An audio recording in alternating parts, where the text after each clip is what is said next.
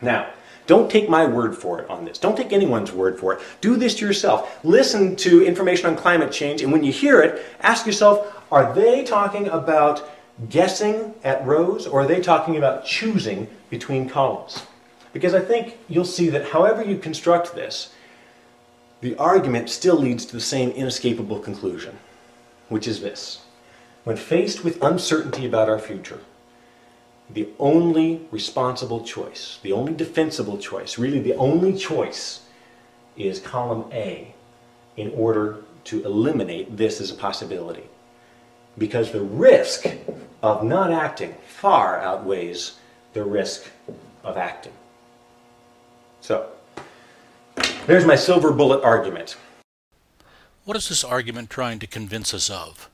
That global climate change exists? That global climate change will lead to unspeakable disasters? That we must take action to avert global climate change? None of the above? That's the first thing you have to decide. What's the main contention that's being urged upon us by the speaker? But here's where things get interesting. What's the logic involved here? Please keep this in mind. You don't have to symbolize the argument, just accurately represent the propositions used in the argument.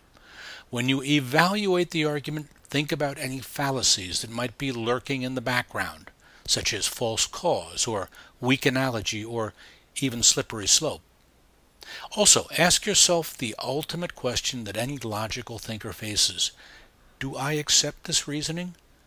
Does it convince me? What is the logical basis for my acceptance? Keep in mind that the framework for the justification, even though it uses the language of deduction, is basically one of risk management.